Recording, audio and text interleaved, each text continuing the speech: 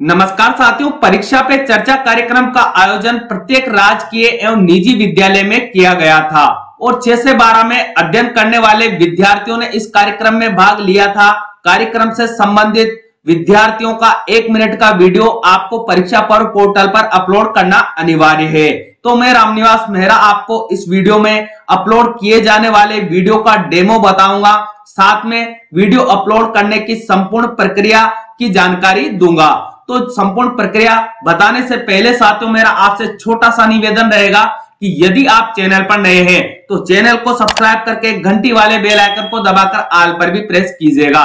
और यदि आप इस वीडियो को मेरे अन्य प्लेटफॉर्म पर देख रहे हैं तो चैनल को फॉलो करना ना भूलिएगा। तो आइए साथियों, देखते हैं परीक्षा पर्व पोर्टल पर अपलोड किए जाने वाले वीडियो का डेमो।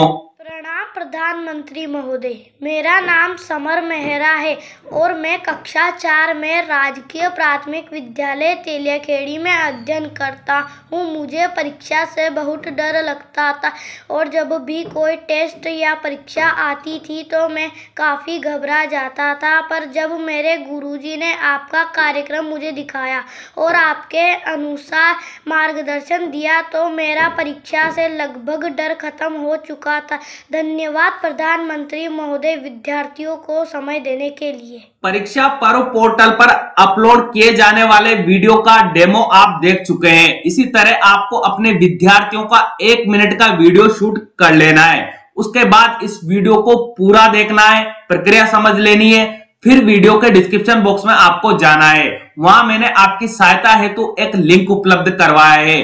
जैसे ही आप लिंक पर क्लिक करेंगे, आपके सामने इस तरह का पेज ओपन होकर आ जाएगा। अब आपको क्या करना है? पेज को स्क्रॉल अप कर लेना है। जैसे आप पेज को स्क्रॉल अप करेंगे, आपके सामने इस तरह से इंफॉर्मेशन ओपन होकर आएगी। आपके सामने यहाँ जो पेज डिस्प्ले किया जा रहा है, यदि आप इसकी भाषा बदलना चाहते हैं तो आपको यहाँ दिया हुआ है। आप यहाँ क्लिक करके इसकी भाषा को परिवर्तित कर सकते हैं। जब आप यहाँ क्लिक कर लेंगे तो आपको यहाँ भाषा परिवर्तित दिखाई देगी। अब आपको क्या करना है? यहाँ पर विद्यार्थी का नेम लिख लेना है। उसके बाद यहाँ उसके पिताजी का नेम आपको यहाँ एंटर कर लेना है।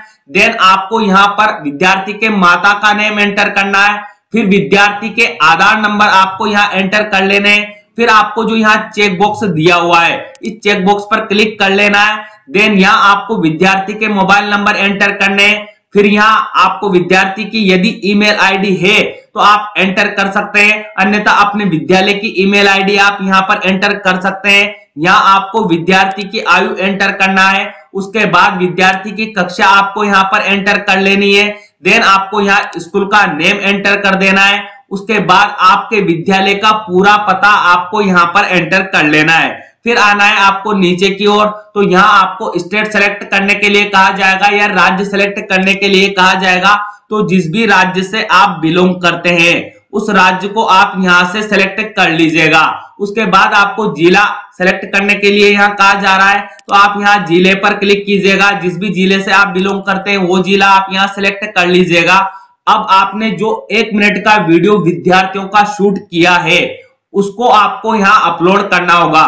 तो आपको यहाँ ध्यान रखना है कि वीडियो एक मिनट का होना चाहिए, उसकी साइज़ दो सौ एमबी से अधिक नहीं होनी चाहिए। इस बात का आपको विशेष ध्यान रखना है। फिर आपको यहाँ ऑप्शन दिया हुआ है चूज़ फ़ाइल का तो आपको यहाँ पर क्लिक करना है। जैसे आप यहाँ पर क्लिक करेंगे ऑटोमेटिकली आपका सिस्टम आपको फ़ाइल फोल्डर में ले जाएगा। जहाँ भी आपने विद्यार्थी के वीडियो को रख रखा है, वहाँ से विद्यार्थी के वीडियो को सेलेक्ट आपको कर लेना है। वीडियो का नेम आपको यहाँ दिखाई देने लगेगा। यदि आपने वीडियो का नेम रखा होगा तो। उसके बाद आपको यहाँ नीचे की ओर आना है। अब आपको यहाँ कहा जा रहा है, क्या आपके पास वीडियो फ़ाइल नहीं है? अपना वीडियो लिंक प्रदान करें। यदि आपके पास वीडियो फ़ाइल नहीं है तो ऐसी कंडीशन में आपको क्या करना है? विद्यार्थी ने अपने वीडियो को यदि किसी यूट्यूब चैनल पर डाला है तो उस चैनल से वीडियो का लिंक आपको कॉपी करना है। उस लिंक को आपको यहाँ पर पेस्ट कर देना है। यदि विद्यार्थी ने यूट्यूब पर वीडियो को नहीं डाला है, अपने फेसबुक अकाउंट पर वीडियो को डाला है तो आपको क्या करना है? उस वीडियो का लिंक फेसबुक से कॉपी करना है और यहाँ पर पेस्ट कर देना है। विद्यार्थी ने यूट्यूब फेसबुक पर वीडियो का लिंक नहीं डाला है इंस्टाग्राम पर अपना वीडियो शेयर किया है तो आप वहाँ से इंस्टाग्राम से विद्यार्थी के वीडियो का लिंक कॉपी करेंगे और यहाँ पर पेस्ट कर देंगे।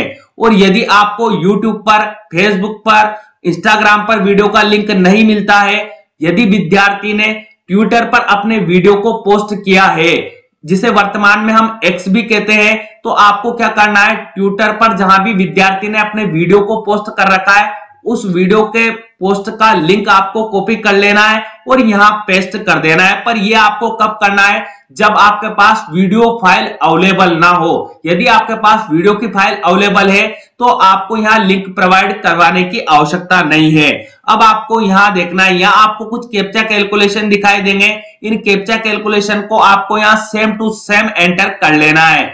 देन आपको यहाँ ऑप्शन मिल जाएगा अपलोड करेगा। तो आपको यहाँ पर क्लिक कर लेना है। जैसे आप यहाँ पर क्लिक करेंगे, सारी इंफॉर्मेशन फुलफिल करने के बाद तो आपको पूछा जाएगा are you sure you want to submit तो आपको जो यहाँ ओके देखने को मिलेगा, उस पर आपको क्लिक कर लेना है। तो इस तरह साथियों, आपको परीक्षा पर पोर्टल पर विद्यार्थियों का एक मिनट का वीडियो अपलोड करना है। उम्मीद करता हूँ, प्रक्रिया आपके लिए उपयोगी रहेगी।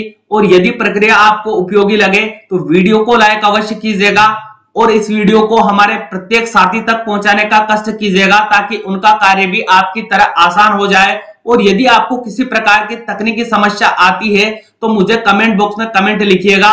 मैं आपके कमेंट का जवाब देने का प्रयास करूँगा। मिलते हैं साथियों, इसी तरह के इंपॉर्टेंट टॉपिक के साथ। तब तक के लिए जय हिंद, जय भारत।